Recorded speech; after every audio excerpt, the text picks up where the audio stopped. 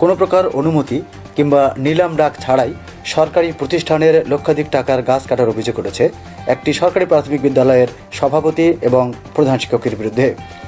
রংপুরের পীরগঞ্জ উপজেলার সাহাপাড়া হাজিপুর সরকারি প্রাথমিক বিদ্যালয়ের প্রধান শিক্ষক ও সভাপতি গাছগুলো কেটে বিক্রি করেছেন বলে অভিযোগ কমিটির অন্যান্য সদস্য ও এলাকাবাসীর।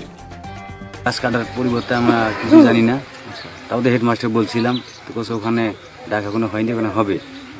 তা আমি কিছু জানি না বর্তমানে। কটা গাছ কাটছে? গাছ আপাতত গাছ কাটা আছে চারটে বিক্রি করার কথা ছয়টা।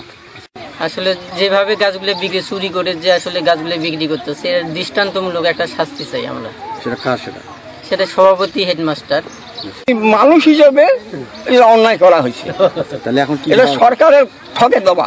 আচ্ছা। সরকার ঠকাবে এখানে জনগণ ঠকাবে তারপর সরকারকেও ঠকাবে বিদ্যালয়ের ম্যানেজিং কমিটির সভাপতি আবুল কালাম আজাদ ও প্রধান শিক্ষক শহীদুল ইসলাম গোপনে বিদ্যালয়ের সাত আটটি বড় বড় গাছ বিক্রি করে দেন।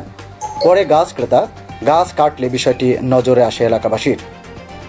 পরে ম্যানেজিং কমিটির অন্যান্য সদস্য এবং এলাকাবাসী রংপুরের জেলা প্রশাসক, জেলা প্রাথমিক শিক্ষা অফিস, দুর্নীতি দমন কমিশন এবং পীরগঞ্জ উপজেলার নির্বাহী অফিসার সহ বিভিন্ন দপ্তরে অভিযোগ দায়ের করেন এলাকাবাসী।